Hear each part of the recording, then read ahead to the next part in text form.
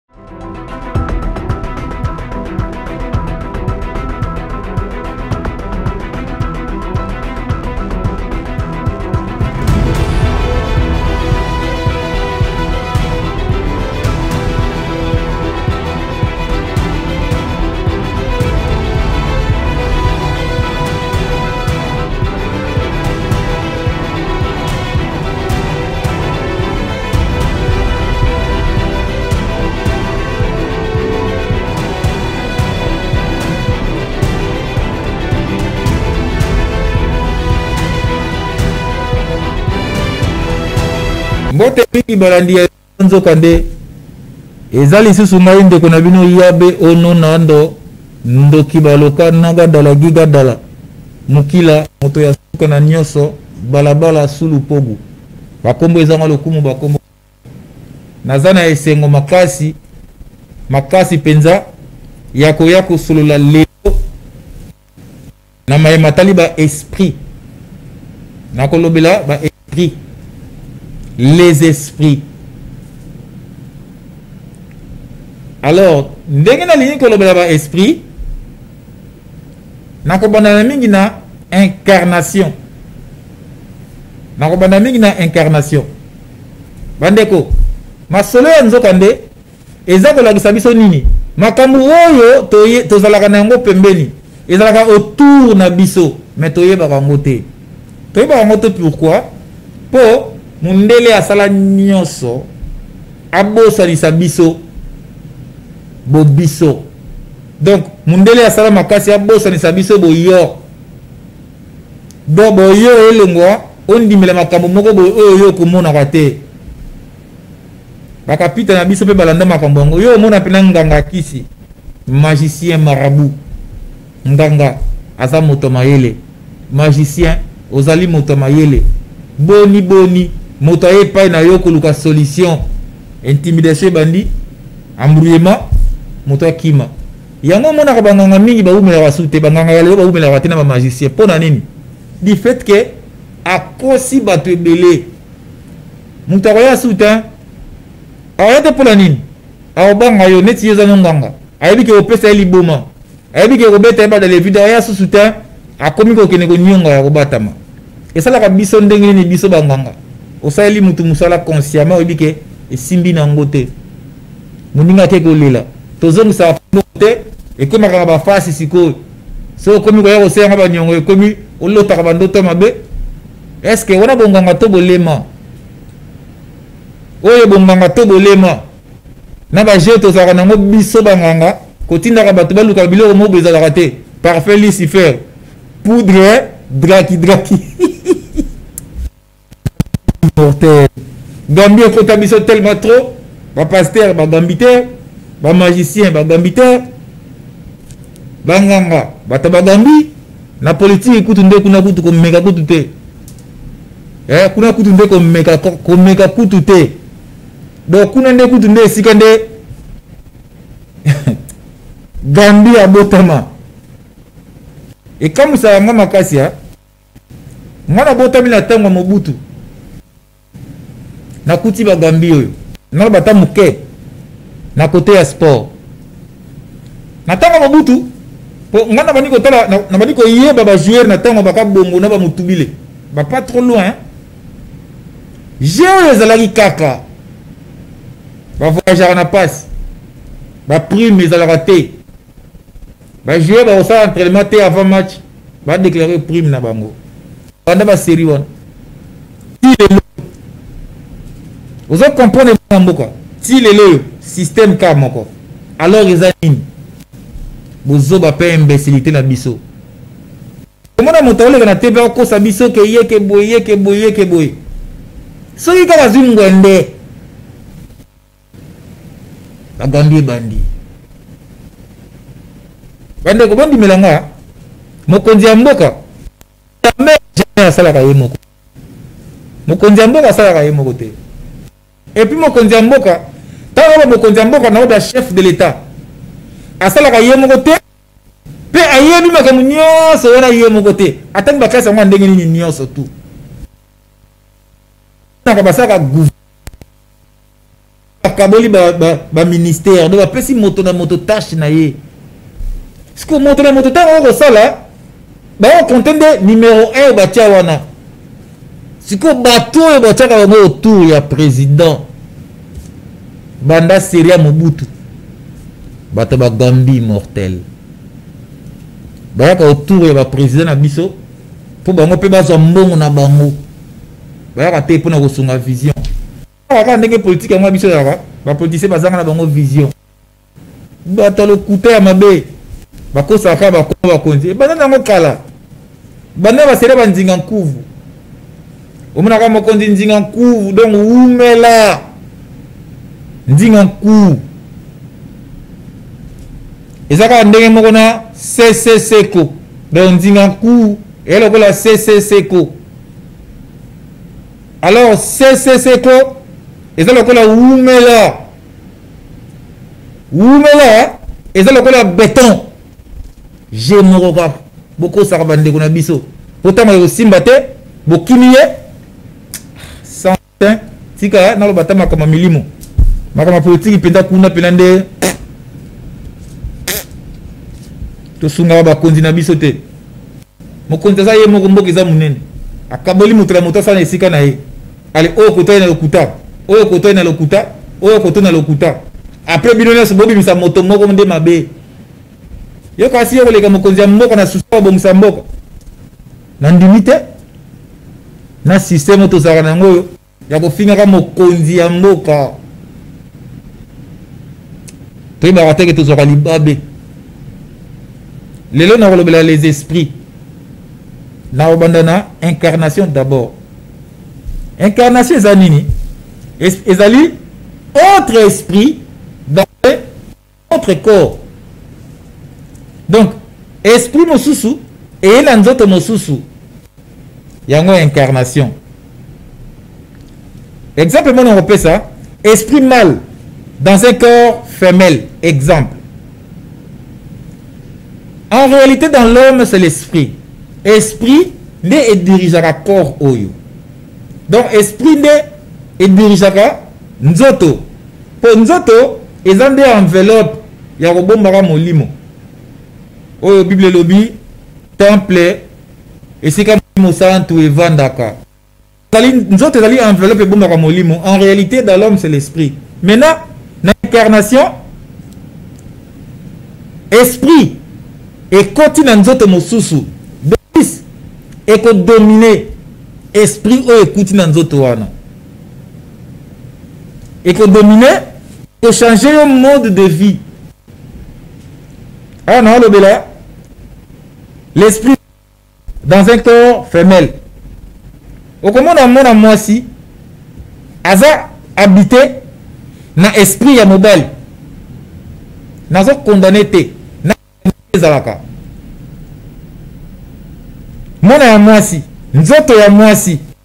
mais esprit oyo aza posede ya mibali mwasi azalaka na nini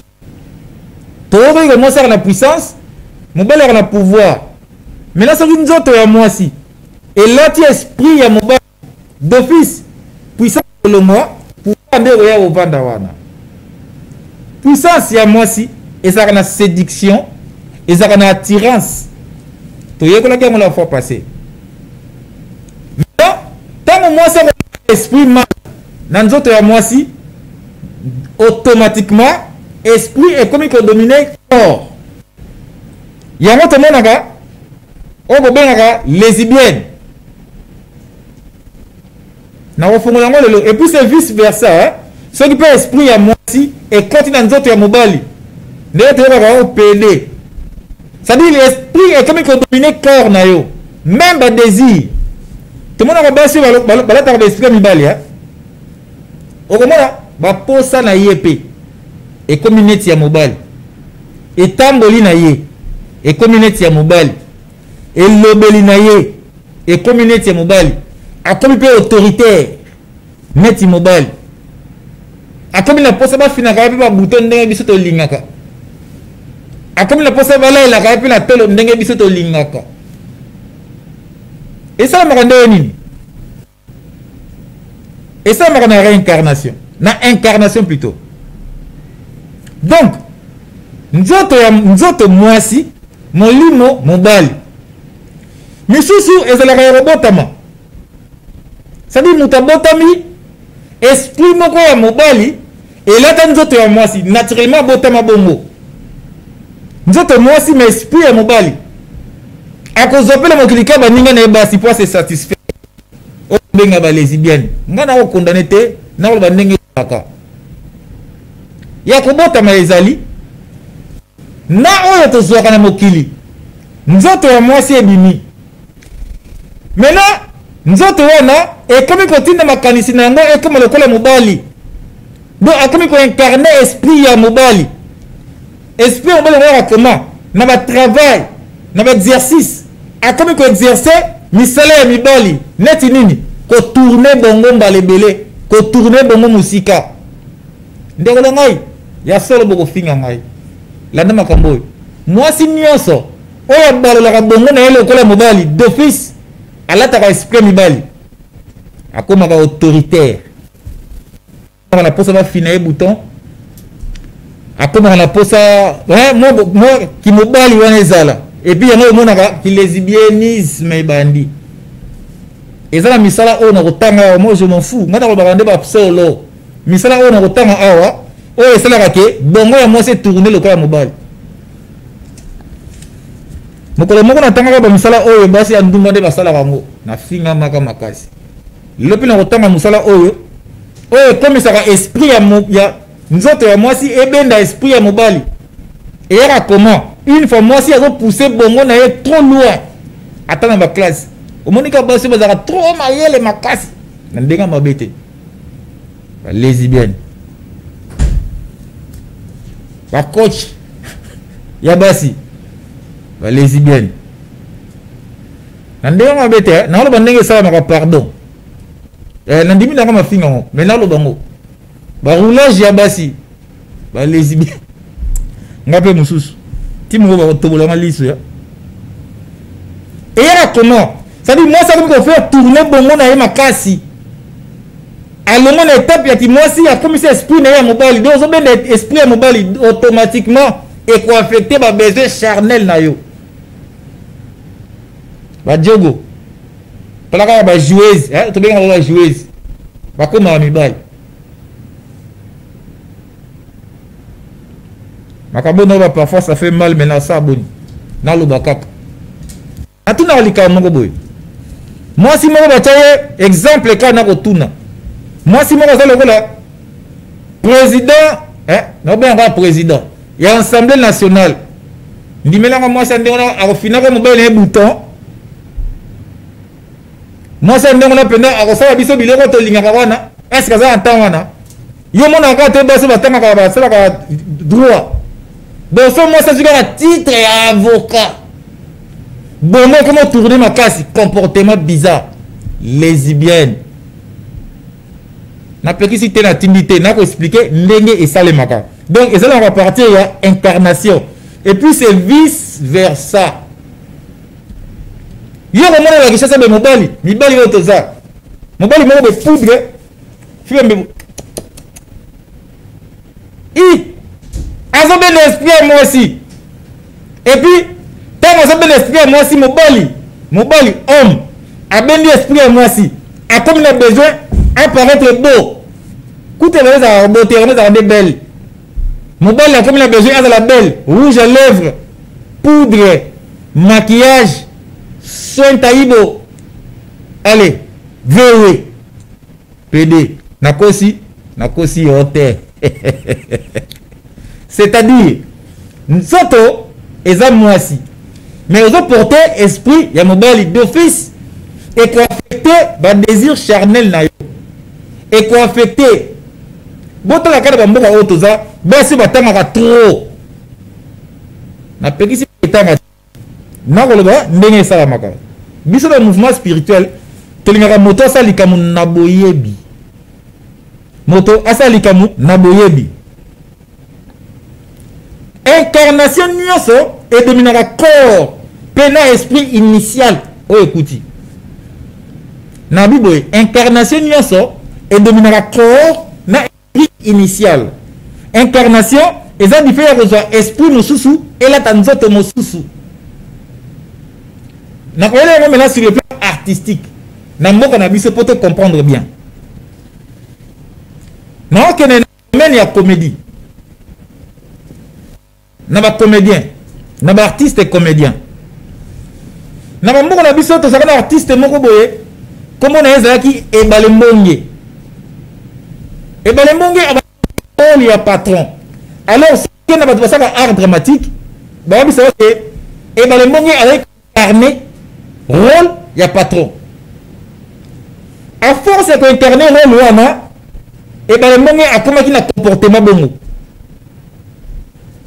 na ye mwa pembeni mpo bato ebele bakoyeba ebale mbonge te na ye epai ya mundueri mundueri awuti kokufa pas longtemps mundueri aincarnaki ebale mbonge bato ya mayele ya mboka na ngai baokomprene makambo na oloba mundori abandaki koincarne esprit ya ebale mbonge epuis akomaki kaka bongo donc tokomaki kaka so omoni mundori oyebi kaka moto ya vantard mpo azoincarne esprit moko boye ehabite ye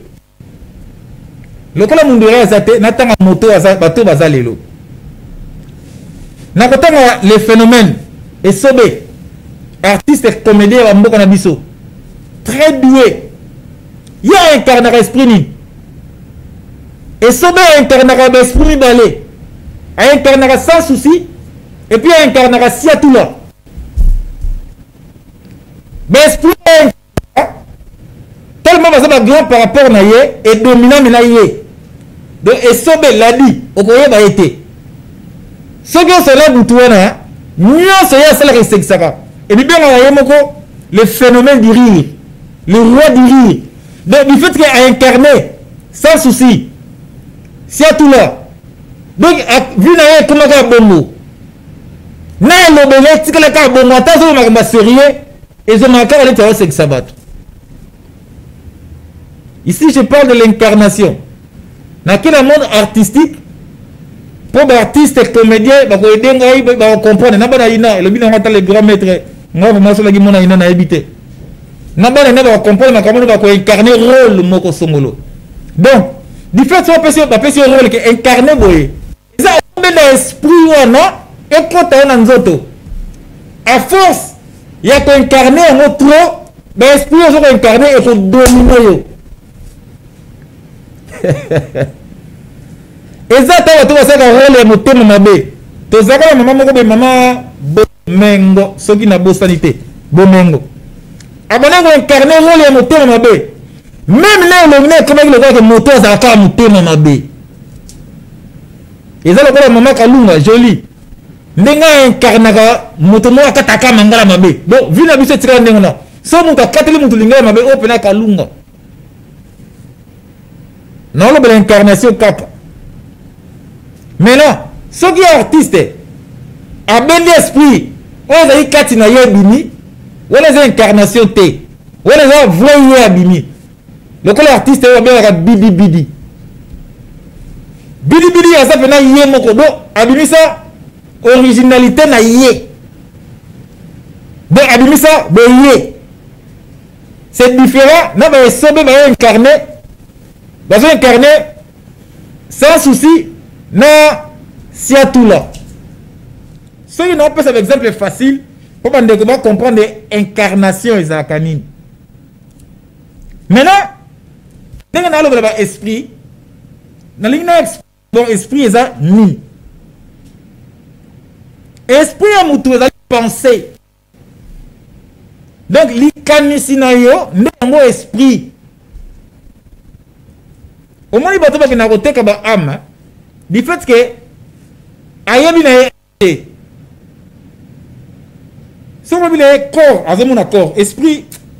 aosentir moke moke mais ame ayebi yango te yango mpona koteka bateka yango facilement nzoka nde soki moto ayebi ke ame eza ensemble ya corps na esprit aoza na contrôle nango maintenant l'esprit c'est la pensée maintenant art balobi art C'est la pensée mise en œuvre.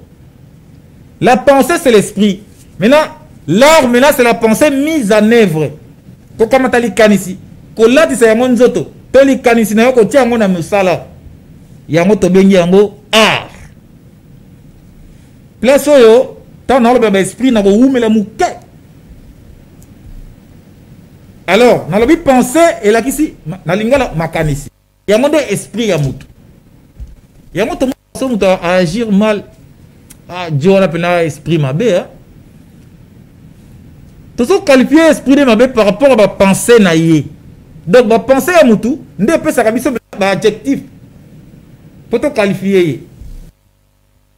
esprit mabe to esprit malamu esprit c'est la pensée nakobandela maintenant l'art art c'est la pensée mise en œuvre donc kokamata makanisi na yo kotia yango na misala yango nde art maintenant artiste mundele asala ndenge nini azoka likambo moko akabola kabola yango bakoko ebele apanzapanza yango kaka mpo tokutanisa yango te tocomprendre te nzokande esprit yango pensée ya moto art elakisi la pensée mise à œuvre donc l'esprit kotia yango na misala yango nde art maintenant artiste artiste aza nani azali metteur en œuvre de ses pensées moto oyo akamataka makanisi na ye atiaka yango na misala ye nde babengaka ye artiste na okende mwa bongo bongo mpo tocomprendre alors ntango balobi ke art eza pensée mise en œuvre epuis tobi artiste azali metteur en œuvre de ses pensées d'office artiste aza maintenant grand penseur grand penseur automatiquement ozali grand homme spirituel naloba o naloba te eh, naloba o naloba te Pensée eza esprit, likanisi eza esprit. Alors artiste eh, azali moto oyo akamataka makanisi na ye atiaka yango na misala. Maintenant, artiste aza grand penseur, artiste aza moto oyo akalisaka makasi. Ntango oyoki grand penseur, mbala moko grand homme spirituel. Donc un grand penseur, c'est un grand Homme spirituel.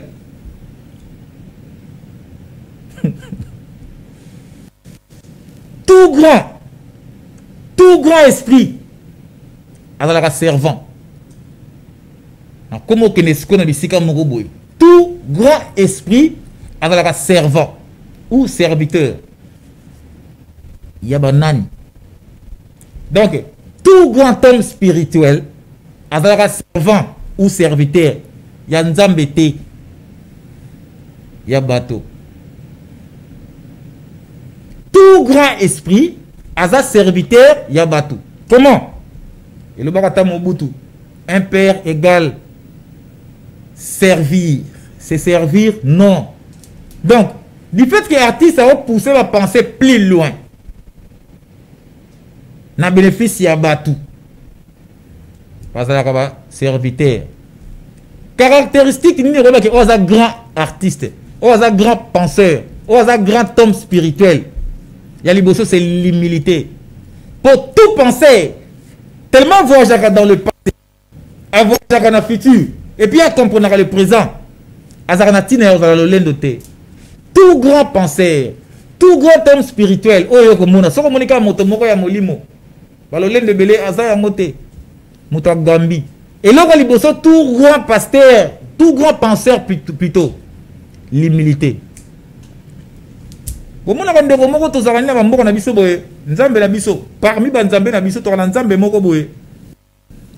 na mona bato bakobika na baji asalaka paster euh, le prophète polo le prophète euh,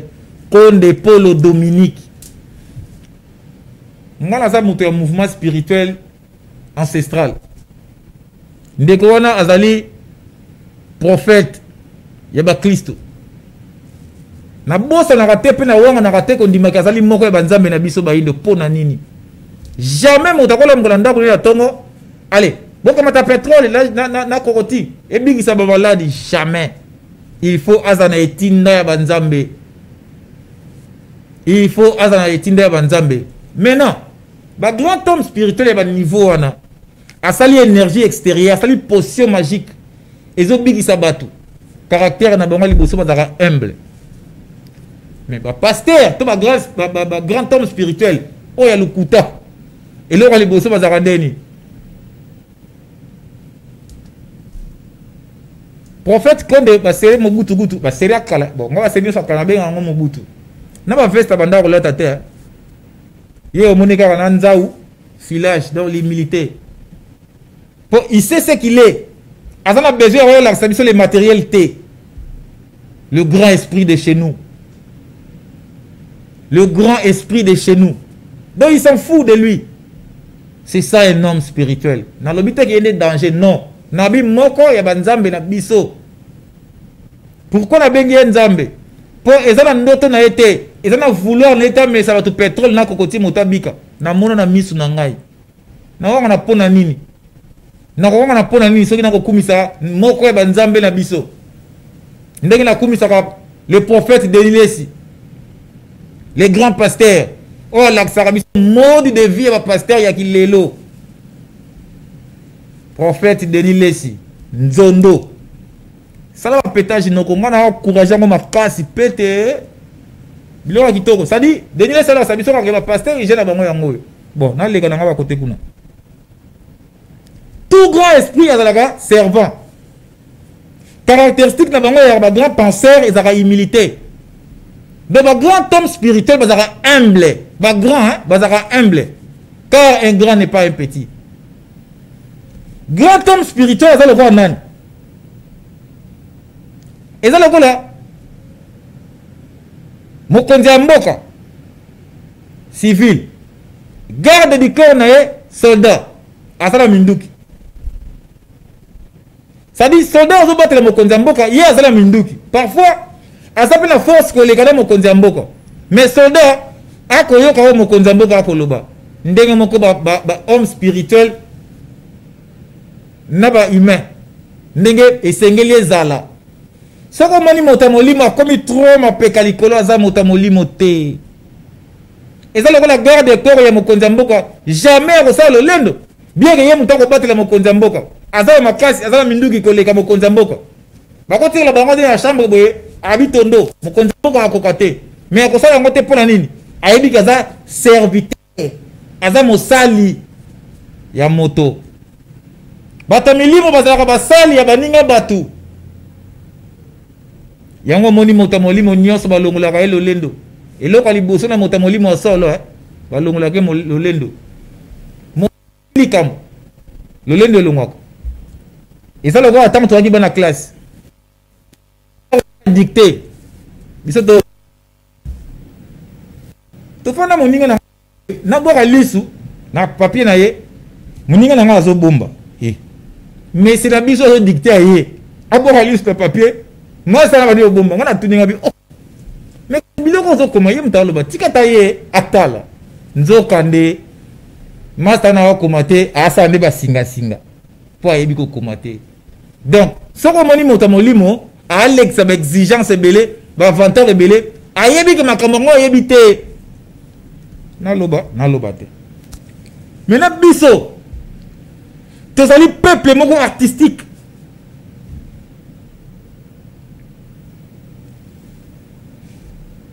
congolais africain toza peuple artistique ntango ba artistique naokela wapi na pensée na esprit donc toza peuple moko trop spirituel nous yango mundele asalaka nyonso abosanisa biso yango epuis mundele asalaka baetude ya bamaître na biso ya baartiste na biso mundele atalaka baartiste na biso mosika mpo akende kokangelaka biso nzoka nde baartiste nyonso toza na bango na baafrika oyo précisement na bacongo artiste moko te ayaki na mokili sans mission biso na mouvement spirituel racine principale des humains tozalaka na ndingisa ya kosonde barin ya bana bato ya koyeba mitema ya bana bato mpe baposa ya bato lelo tokoyekola quelque artiste yao na biba artiste na biso baza bapenser moto afandaka bomoi na ye mobimba akanisa kaka akoloba nini uswat moto ayoka malamu to moto aseka nazala na témoignage moko ya ndeko moko artiste na biso comédien ndeko charlie vie de loin ye moko abeta lisolo ya télévision alobi ba voyageur na mboka moko boye nayebi te na bosani tata moko aye kokabela ye telefone ya cher pourquoi papa ngo alobi mwana na ye azalaki malade na hôpital ntango atala video ya, ya vie de loin koseka oyo aseka nde esalaki alamuka na koma nde aye akabeli vie de loin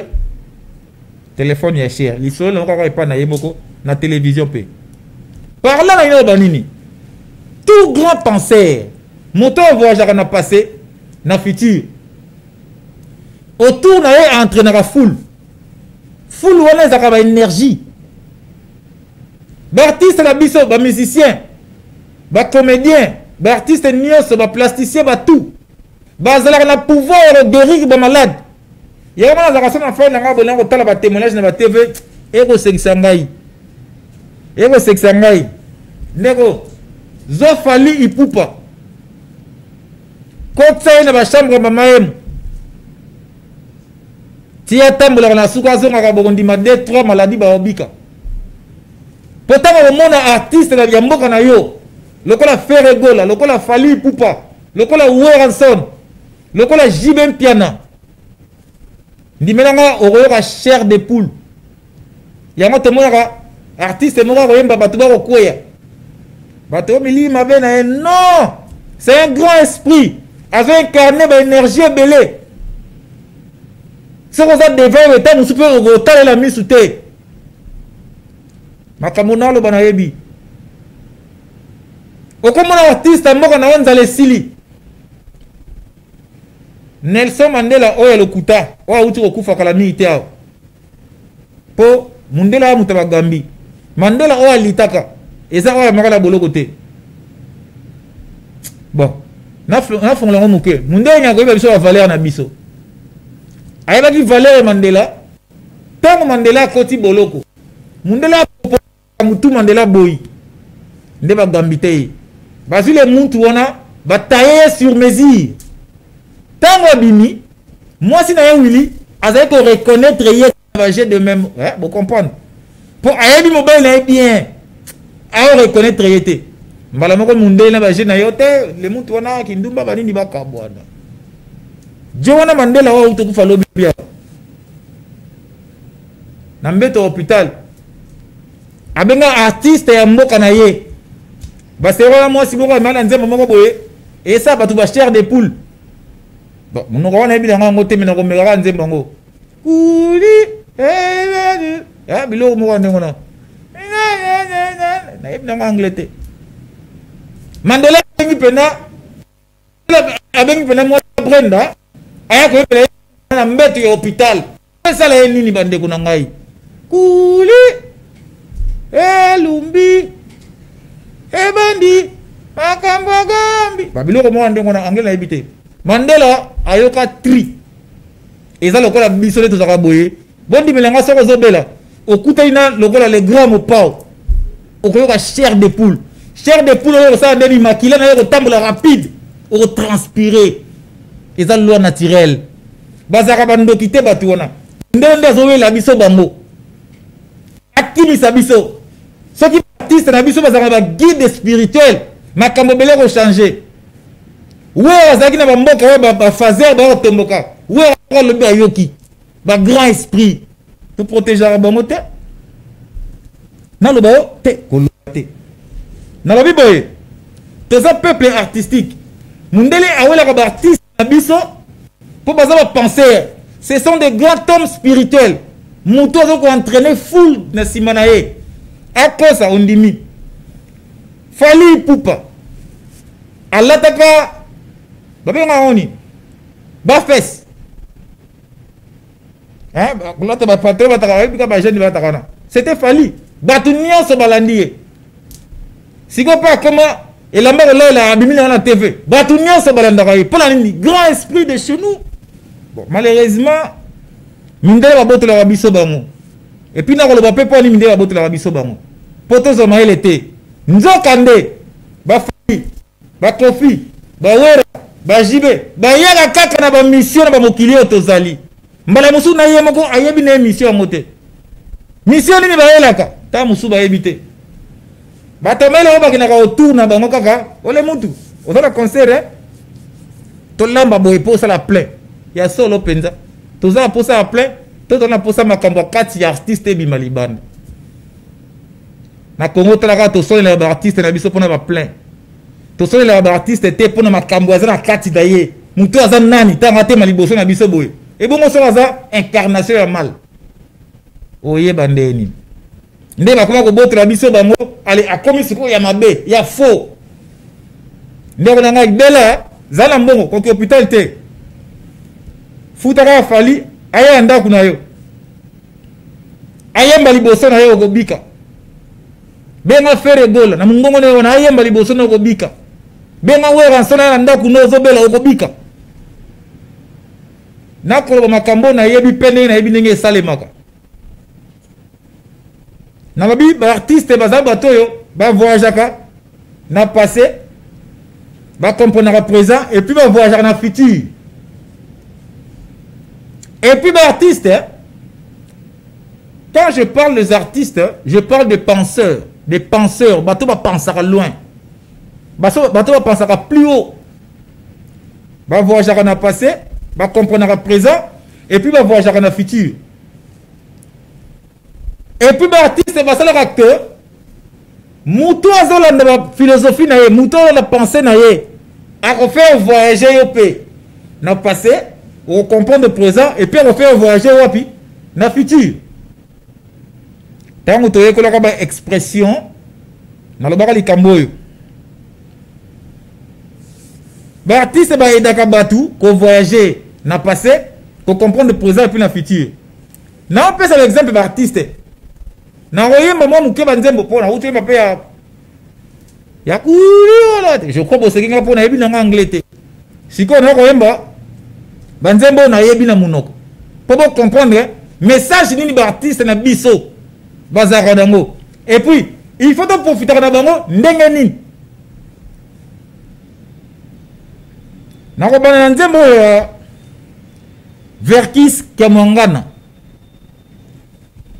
Verkis Kemongana Mateta aza artiste ya bamboka na biso. Auti kokufa lobi awa. Pendant ke azalaki na bomoi, avoyageaka na passé. Ntango ake na passé, atuni bakestion,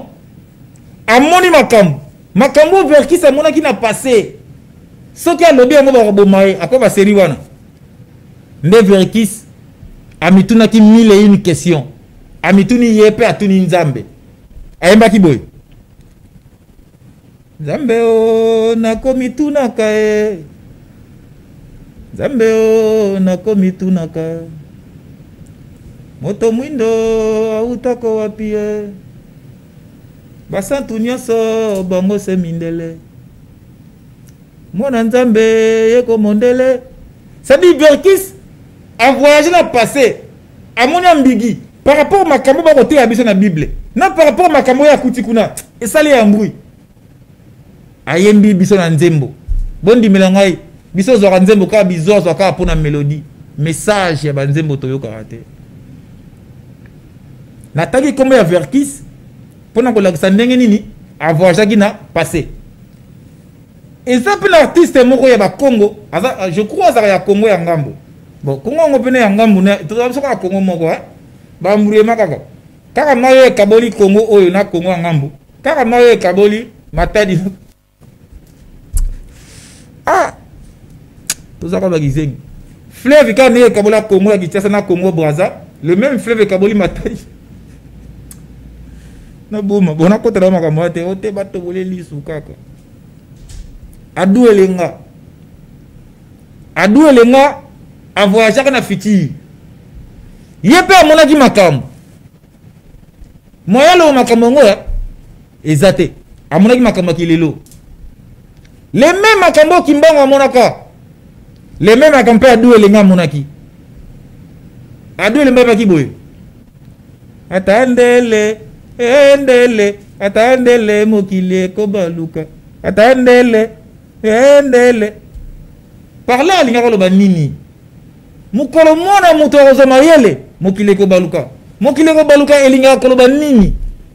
mwana moto moto moindo akozongela mayele na ye ya ebandeli c'est ça ata ndele mokili ekobaluka adu elinga siko baartiste na biso eh? na banzembo na dimension bapense na bango totalaka te toponaka baparti ya buzoba nayesi na bamusicien ya lelo naye kozwa kofi olomide kofi olomide ye nde porteur ya esprit chacho l'esprit tchatcho eza monama ya mai esprit ya mai monama elima ya mai bo nakokota tro te mpo bato kaka oyo oh, te bilobela mpe eleki esprit ya mai eyaka na nini eyaka na plaisir eyaka na sentiment eyaka na batoli ya makasi me lokola plaisir edominaka biloko wana moye to comprendre tchatcho makambo alobaka eza te nazoyeba bandambu ndambu baconseil oyo kofi apesa mbala mosusu bamusicien ebele bapesa yango te mais lokola biso bayindo tozalaka bato moko trop charnel biso bandaka baparti ya buzoba ya kofi olomide ok asali boye epuis makambo yango kofi asalaka biso nyonso mpe tosalaka bongo bon bocomprendre elobaka nango ata bato ya mayele babi babambaka libanga kaka na mbuma oyo ya kotela ndako ya likolo ya ngomba soki ya rido eza te o ndako na rido ya te lelo balambi te mpo eza likolo ya ngomba yoka biloko nzembo okofi ayembi mbongo eza suka ya lavi te bamama mbongo eza suka ya lavi te bapapa l'argent ne fait pas tous les bonheurs oyo ya moto tout l'argent ça va ça vient l'argent c'est rien ça c'est vrai ça bandeko tala dimension ya toli oyo ndeko wana apesi akoyebisa bilenge eh? mbongo eza suka ya la vie te donc le matériel eza suka ya vie te en réalité dans l'homme c'est l'esprit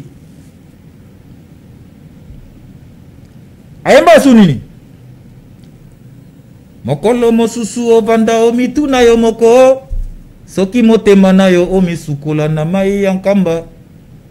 Enemi na yo nga namoni ezali se yo moko tika kolukela nga mindondo na boyi bambruyema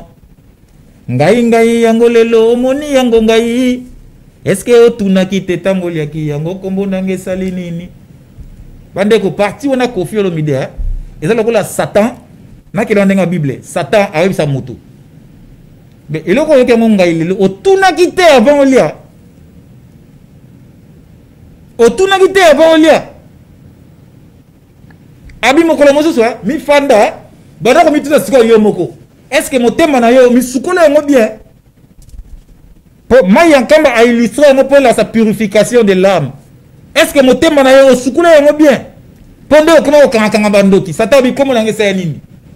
Donc ndoki aza wapi na bomoi na yo moko obebisa bongo? Ngai ngai yango lelo omoni yango ngai. Est ce que otunaki te ntango oliaki yango kombo na ngesa? O kaka satan blocage ba famille. Non! Tala nanu bomoi na yo. Est ce que artiste oyo ateyi te bandeko na ngai? ateyi te yoka su place okola nzembo yango abi boye sala vi na mbongo ndeko suka se esheke motema oyo ya sembo o eza na assurance e motema oyo ya piyo okokende liboso e e motema kitepila a okobetama baku e e eske wana eza liteya te sala vie na mbango ndeko kosuka se echeke bawela mbango basukaka kaka na nzela nos artistes à nous sont des grands hommes spirituels bavoyageaka na passé bavoyageaka na futur mpe bacomprenaka présent kaka le même musicien wana kofi olomide ayemba nzembo moko aloba nini ayembela mboka oyo Eh, Congo, eh, Congo, eh. aloba boye kongo ekobonga te soki toza te lisanga e soki totie te l'intérêt ya peuple devant le chacun pour soi kongo ezala besoin ya exploit na biso koleka lobaloba bozoberi bozoberi yango imbécilité donc parfois lomide aloba yango avant biso toteya imbécilité que bozoberi division baguerre comment tozonga nsima est ce que ce type là n'a pas prêché si ce n'était pas la bonne nouvelle ezalaki nini kongo ekobonga te soki toza te lisanga e soki tosangisi te lentele ah, biloko kitoko ya moye te alobi mpo mboka ebonga fota lisanga bato ya mayele lisanga kasi lisanga bato ya mbongo lisanga ezalaka teke moninga moko liboso biso koto oyo neti kaka azala kaka te tala kaka so oyini moto ya tala kaka bato bayina faci soki amoni kaka faci na tv motema ti mposa kaka kure ekende mon frère osala nini eza lokola na epoke bato balingaka kabila te donc mpo na bango losambo mpenza ko kabila kufa ah, bozoberi biso banzoka nde toteyi imbecilite kofi olomide abengi yango bozoberi kongo ekobonga te soki toza te lisanga parla ndeko alingi koloba nini piste ya solution ya kongo eh? tozala nde bomoko tozala nde lisanga abi soki tosangisi le génie de l'un donc mayele ya, mon, ya moto oyo na l'énergie de l'autre makasi mpe ya oyo nde lisanga tokolonga bongo nos artistes sont des grands hommes spirituels maintenant manque ya baguide spirituel yango omonaka sikoyo bale mutu babebala bango ntina oyo bayaka na mokili na biso bayebi su te au moins pena artiste et penseur na biso ya congo aolakisa biso sapato di neti sapato tomakoma nzembo eye kosala eh? nini e eh? akolakisa biso bakar tokosala nango nini donc au lieu basalaka role na bango ya kolamusa Timo ya batu. Ba ba kama waso sa rôle moko ya ko faire croire batu ba illusion. Jacques Asoke potonde potonde fait. eza lokola ndenge biso bayaka toyaka kisasa na nzembo ya ya tabule ye so ya lwambo eh, kisasa poto moindo meke yango monaka tala ekolo mona mboka epesaka bana bango epesa bana bango bakombo bakombo nyonso baza bakuta na bamire na bapanneau publicitaire ekolo yango eza ya mboka na biso omonaka mona kombo avion tomona mona kombo compagnie cestadire le mutu oyo auti mboka amoni bakomi compagnie asepeli na kombo yango ale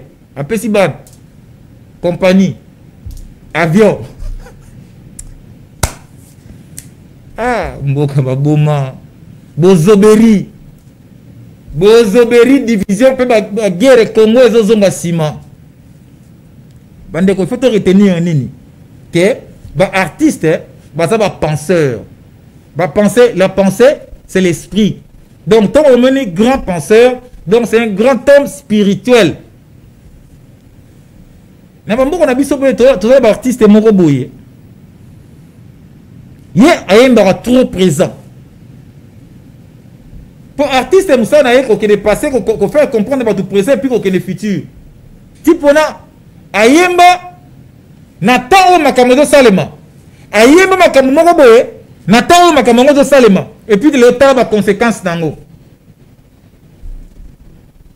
nkombo na ye jean goubal kalala nakomekola mpe moke ya nzembo ngo aye mpo pema mpe yobi kaka nga mpe sante eyobonga kaka te nayeba teke neti nakufa kaka so ndenge nini do nakobela trop jean goubal kalala ayembi nzembo moko na le présent bayekolisi ngai te kokoma balakisi ngai kaka se koboma o bomwana oyo ya masano natondi te bakabolinga na baninga susi te o oseku bayibi ngai bomwana e malgré ça batiki te koswana o pire encore bitumba tokendeke basalela biso lokola bouclier humain ayembeli baenfant soldat abi pire encore bitumba tokendeke bakosalela biso babouclier humain donc bato ya mbongo bakamataka bana na bana na bana ya bato batindaka bango bagera buzoba oyo tomonaka baeste banini ba bouclier humain mpo na baplaisir na bango elobi ata wazekwa baguerre ya este wana ko eza basoda babundelaka bato bango bayebi te donc ntina bayebi te bato yango bayebi mpe te baaventire ekosalema jean gubel ayembaki yango moboti nini yango oyo akolinga ye oyo aye mwana asekana na moto La guerre est commencée oyo biso tondima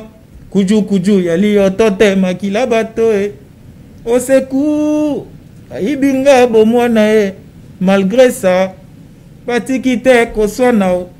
pire encore bitumba tokendeke basalela biso lokola bouclier humain oyo donc l'artiste wana akotisi amikotisi na po ya bana donc baesprit ya bana oyo ekufi na guerre bakoti epai ya moto wana akutani na bango babi na ye loba boye estce toyoka yango bana bakolela na kati ya jean goubal nakende kelasi mpo na nini ngai te mokolo na makasi esimbi nango ngai te na bloka le faux malade elongo na bacamarade le corbeau et le renard ata na moretard nabeta nitendo e nos artistes ce sont des grands hommes spirituels toprotegeaka bango epuis toguidaka bango biso lokola toka na confiance mikanda oyo ewutaka libanda donc mpo na biso likambo ya solo ezaka oyo ya libanda na classe to otanga basocrate to otanga bango mosusu banani ebongo ya biso moko bato abele baza te lokola balutumba nsima ro masiya moto ayebi alobi nzete ebikisa na etumba na mpakasa olingi okata yango mpo olingi otumba yango makala vraiment donc biso na bamboka oyo tozala bato ya mele te oyo bana bakotanga na baklasse batangisaka biso kaka bato moko tokoyeba te lokola basocrate lokola badai mosusu bandumba moko boye